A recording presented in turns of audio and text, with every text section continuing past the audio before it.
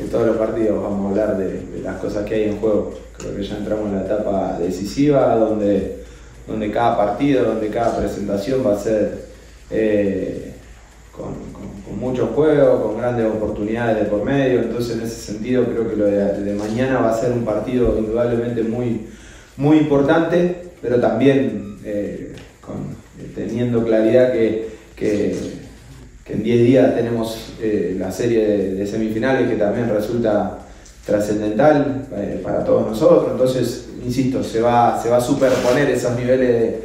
Si, si tomamos el, plano local eh, y el objetivo de, la clasificación dentro de los cuatro, indudablemente que es un partido trascendental pero también se, se, solapa con, con, con, las urgencias y con las obligaciones y sobre todo con las expectativas que tenemos en torno al, plan internacional también. Así que es una, una, construcción que va a ser partido a partido, con decisiones que, que respondan a, a, varios factores. Entonces en ese plano eh, va a ser, van a ser semanas muy, muy exigentes.